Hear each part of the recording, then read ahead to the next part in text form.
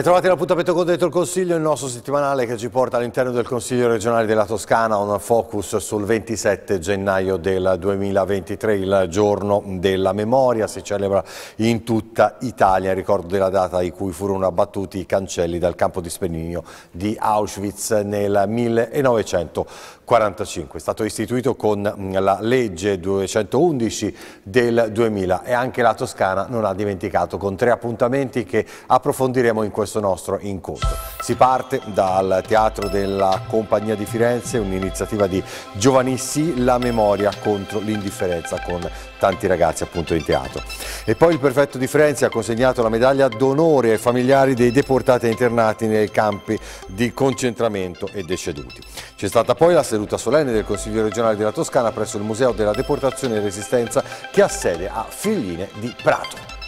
La partecipazione in presenza di Tatiana Bucci e Lidia Maximovic eh, segna per l'iniziativa promossa dalla Regione Toscana Giovanni Sila riscoperta della dimensione del vivo della testimonianza di sopravvissute e sopravvissuti al, eh, all'orrore dello sterminio e quindi c'è stato un appuntamento dedicato ai giovani al Teatro della Compagnia. Io ritengo che oggi la presenza di Tatiana Bucci dimostri quanto sia importante trasmettere alle nuove generazioni il senso della memoria del momento più drammatico che l'umanità ha vissuto, quando si sterminavano per motivi etnici, religiosi, razziali, eh, persone assolutamente innocenti e prive di qualsiasi profilo di responsabilità. È il nazismo e il fascismo che ci ha portato a questo. E del nazismo e del fascismo dobbiamo tutti stare assolutamente lontani, non solo dai valori e dalle idee, questo è pleonastico e scontato, ma anche da quei meccanismi che poi eh, con il populismo, il sovranismo possono portare ad assecondare valori che ci fanno scendere in quella china eh, che appunto drammaticamente portò a quegli episodi che oggi noi cerchiamo di tenere vivi con la memoria perché che non accadano mai più. La prima cosa che fanno siamo separati uomini dalle donne e Mengele che era sempre presente quando arrivavano i convogli. Quella volta Andre e Dio ci assomigliavamo molto, ci ha scambiato per gemelle. Quindi è questo il motivo per, qua, per il quale siamo scampate veramente. Nel, ed è, sta, è stata la prima stella che, che ha vigilato su, su noi. Io penso che ancora di più oggi che i testimoni di quelle barbarie, di quelle violenze non ci sono più, compito delle istituzioni debba essere quello di diventare amplificatori di memoria, di fare in modo che quello che è accaduto non accada più, di parlare alle ragazze e ai ragazzi perché ognuno di loro può essere un vaccino contro l'indifferenza, perché la memoria è fondamentale per conoscere, per comprendere, per fare in modo che quello che è accaduto non accada mai più. Dobbiamo salvaguardare e promuovere la memoria a partire dalle giovani generazioni perché questa, con, per utilizzare il linguaggio della pandemia, è il vaccino più potente che abbiamo contro il riemergere di pericolosi rigurgiti nazifascisti. Ancora oggi purtroppo nel mondo, in Europa e anche nel nostro Paese assistiamo a episodi di antisemitismo, xenofobia, razzismo, omofobia, discriminazioni di persone disabili, di persone che arrivano da altri paesi. Ecco, di fronte a tutto questo non possiamo abbassare la guardia e soprattutto dobbiamo imparare dal passato. Gli italiani di allora possono essere divisi però in tre categorie. I complici, molto attivi anche nelle loro uccisioni di italiani. ricordiamo le stragi di Sant'Anna di Stazzema, Padula di Fucesco in Toscana e poi Mazzarvorto, le fosse ardeatine e tante altre. E furono molti di più di quanti si possa credere. I giusti, cioè coloro che invece si adoperarono per salvare vite umane dalla deportazione. Furono pochi, ma tanti perché agirono sapendo di rischiare la loro vita e quella dei loro familiari. E poi la maggioranza degli italiani che voltarono la faccia dall'altra parte. Furono cioè indifferenti. Alla fine delle mie interviste, delle mie presenze dico sempre non odiate, non odiate, non perché odiare vuol dire calpestare tutto quello che è bello e quello che è da amare. Il Teatro della Compagnia si trova in via Cavour, adiacente al Palazzo del Pegaso, sede del Consiglio regionale. Di fronte c'è il Palazzo Medici Riccardi, sede della Prefettura di Firenze. Una cerimonia si è tenuta eh, nel quale il prefetto ha consegnato le medaglie d'onore concesse dal Presidente della Repubblica ai cittadini italiani, militari civili, deportati e internati nella guerra nazisti e destinati al lavoro 4 per l'economia di guerra e ai familiari dei deceduti tutti. Um, I familiari degli insigniti hanno ritirato la medaglia e appunto i deceduti sono Enrico Allocca, Giovanni Gori, Serafino Marmugi, Paolo Parrini, Ulisse Salvini. Un modo per ricordare, ma è anche un modo per approfondire alcune storie, storie molto differenti, eh, da internati militari eh, piuttosto che cittadini ebrei che sono stati deportati. La Shoah, l'Olocausto, è stato uno dei crimini più grandi che la nostra storia moderna ha vissuto e noi non dobbiamo dimenticare. Le parole della senatrice Segre devono essere per noi un punto di riferimento. Il rischio è che eh, se non ricordiamo si finisca nell'oblio. È un'occasione per raccontare ciò che è stato in negativo, ma anche ciò che, come ha giustamente ricordato il nostro rabbino capo, ha determinato delle luci, persone che hanno saputo dire di no, che hanno quindi usato il cervello, la cultura, l'etica e non si sono girati dall'altra parte. A questo serve la giornata della memoria, a capire che dobbiamo essere sempre critici con noi stessi e a non voltarci mai dall'altra parte. Ci fu, fu perpetrato l'assassinio di milioni di persone, ebrei, omosessuali, oppositori politici, malati di mente. Furono internati anche persone italiane che eh, non avevano mh, mm, diciamo, abbassato la testa, persone che eh, avevano servito il loro paese ma che poi anche, si sono anche resi conto che eh, non era possibile continuare in quel modo. Quindi veramente onore al merito ed è giustissimo la consegna della medaglia. Allora, mio nonno era piuttosto reticente nel parlare del vissuto personale, oltre ad assolvere chiaramente al dovere documentariale dei fatti oggettivi eh, della guerra. Quindi ricordo qualche frammento, il primo eh, diciamo positivo di un generale tedesco che in una situazione particolare gli concesse una parte della, della razione e poi ricordo eh, un, insomma, piccoli flash di un suo racconto sulla sensazione di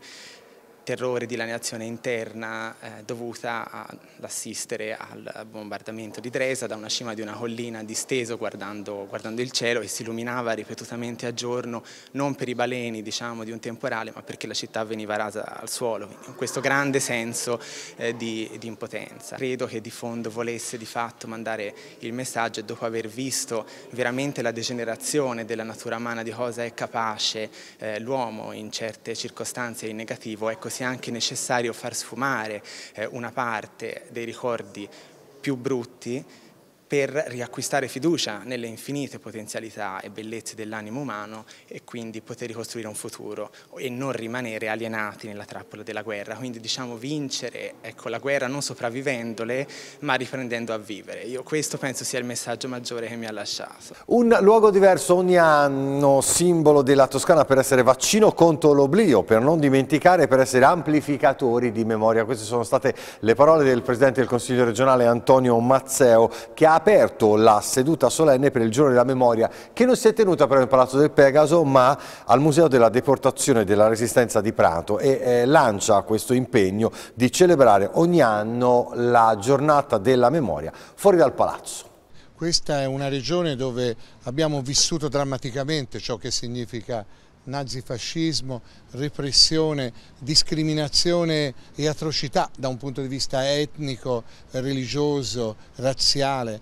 E quello che è significativo è che proprio qui a Figliene di Prato dove si sono consumati eccidi gravissimi che hanno caratterizzato quanto la libertà sia costata alla Toscana. Figline di Prato come Sant'Anna di Stazema, come il, come il Padule di Fuscecchio, come Civitella. Ecco, tutto questo dà il senso eh, di una trasmissione di memoria eh, ai nostri giovani, perché le nuove generazioni non eh, cancellino mai, nonostante il passare del tempo, il senso del momento più drammatico che l'umanità ha vissuto, del momento in cui la civiltà umana è caduta più in basso perché non ci si possa nemmeno avvicinare ai presupposti che portarono allora a vedere 6 milioni e mezzo di ebrei uccisi, eh, 47 milioni di persone morte nella seconda guerra mondiale. Ci è sembrato il modo migliore per celebrare i vent'anni del museo che è stato fondato eh, appunto grazie al volere della, della, sezione ANED di Prato con i sopravvissuti agli arresti del marzo del 44 che hanno fortemente voluto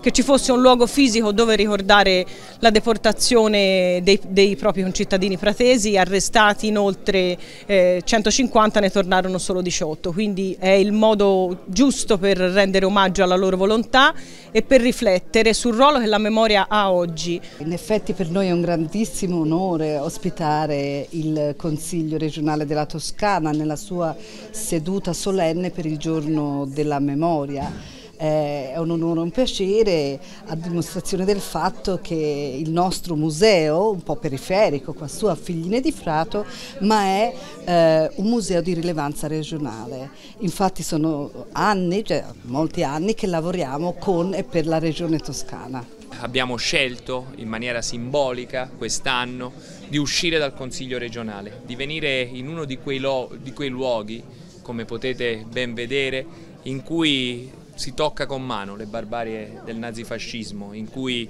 si tocca con mano quanta violenza c'è stata in quel tempo. È compito nostro, delle istituzioni, è fare in modo eh, di arrivare a più persone possibili. Il compito delle istituzioni è quello di andare nelle scuole, di incontrare le ragazze, i ragazzi, di chiedere a loro un nuovo patto, il patto di tramandare, di parlare con i loro compagni, di fare in modo che insieme tutto quello che è accaduto non accada, non accada più. E finisco, mm, noi dobbiamo davvero cercare di essere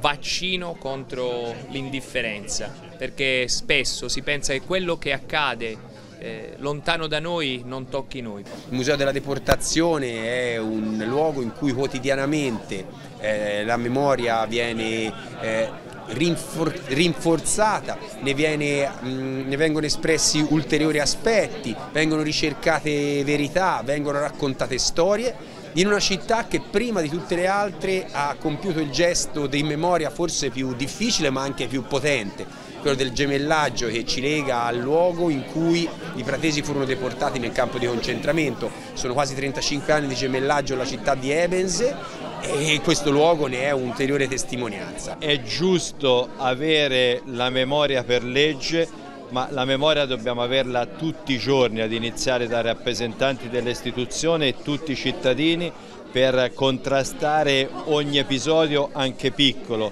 di violenza, di sopraffazione, eh, di razzismo, di antisemitismo, di intolleranza. Questo è sicuramente il miglior modo per rendere omaggio e onore a tutti quelli che hanno perso la vita combattendo e nei campi di concentramento. Credo che veramente eh, noi dobbiamo impegnarci tutti i giorni e di più per essere operatori di pace. È dovere del Consiglio regionale della Toscana fermarsi eh, per provare a tutti insieme a condividere quello che è la condanna di un orrore, l'antisemitismo, le leggi razziali e ovviamente in questo momento, in questo contesto storico così delicato in Europa dove la guerra in Ucraina ha riportato diciamo, degli orrori che pensavamo essere ormai abbandonati alla storia, da parte nostra il senso di responsabilità ci porta a condannare ogni forma di discriminazione, di antisemitismo, ogni forma di supremazia dell'uno verso l'altro, ogni guerra nel contempo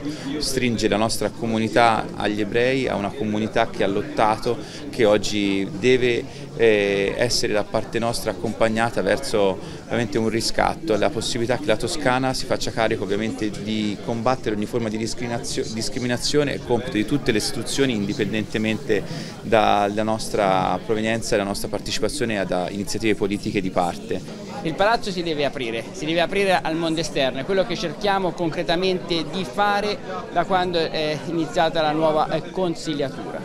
Ci stiamo riuscendo, stiamo dando un bel segnale di interesse verso i territori e se vogliamo concretizzare, attualizzare la memoria, darle sostanza, questa è la scelta giusta, così come credo eh, sia uno dei ricordi più significativi della mia vita aver partecipato all'ultimo viaggio della memoria verso Auschwitz. Un eh, viaggio che ha segnato eh, proprio il mio modo di pensare, il mio modo di essere, è stato per me determinante, un'esperienza che dicevo oggi presso una scuola retina dovrebbe essere istituzionalizzata, penso che sia un dovere di ciascuno di andare almeno una volta nella propria vita ad Auschwitz per eh, capire quello che è stato, perché quando ci si reca si capisce ancora meglio l'orrore che non deve più ripetersi, la violenza, e la dittatura devono essere bandite, deve essere uno, uno, degli sforzi principali di chi fa parte delle istituzioni e queste non dovrebbero essere parole di circostanza, parole retoriche, parole soltanto per questa giornata. Dovremmo tutti i giorni, noi che facciamo parte delle, delle istituzioni, alzarci e improntare il nostro agire al bene comune ma anche al rispetto dei valori e delle differenze. Siamo in un'epoca adesso, stiamo attraversando degli anni in cui gli ultimi eh, sopravvissuti ai campi di sterminio ci stanno lasciando. E questo ci dà la responsabilità di questo carico storico che abbiamo il dovere di tramandare, perché quello che è successo durante la Shoah, quello che è successo al popolo ebraico non si ripeta più, nonostante eh, i venti di guerra continuino a soffiare eh, sul nostro pianeta e nonostante le guerre non abbandonino ancora la nostra storia. Ecco, eh, questo è il nostro dovere, lo abbiamo come cittadini, lo abbiamo come istituzioni, lo abbiamo nei confronti dei nostri giovani che devono essere in grado di capire ciò che è accaduto e soprattutto devono essere in grado di riconoscere all'interno della società in cui essi vivono quei germi che possano dar luogo di nuovo a dei rigurgiti se non uguali, analoghi a quelli che hanno eh, sporcato eh, la storia dell'umanità. Quando si parla di conservare la memoria è eh, un dovere di tutti e soprattutto quando si parla di eh, leggere anche le pagine disastrose, drammatiche, buie della nostra storia non ci deve mai essere vergogna, sempre avere, dobbiamo sempre avere il coraggio di fare i conti con la nostra storia, di fare i conti con il nostro passato affinché chi arriva oggi, chi ha la fortuna di essere giovane, giovanissimo oggi, possa crescere e vivere in un mondo libero da quegli orrori quindi non c'è vergogna a rileggere il passato. E abbiamo cercato in questi pochi minuti di raccontarvi quanto è stata importante eh, la giornata della memoria per questo 27 gennaio del 2023. Per tutti gli approfondimenti, ve lo ricordo c'è il sito internet www.inconsiglio.it, grazie per essere stati con noi, vi aspetto tra sette giorni sempre qua, dentro il Consiglio.